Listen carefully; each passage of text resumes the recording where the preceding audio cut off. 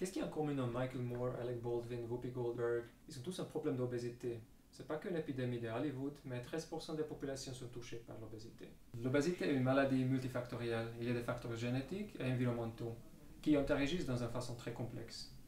Par exemple, il y a des facteurs génétiques qui peuvent diminuer l'effet négatif de l'environnement. Alors si ça vous intéresse, je vous invite à découvrir le monde des génétiques d'obésité avec moi le 5 octobre à 17h15 à Torigny. À bientôt.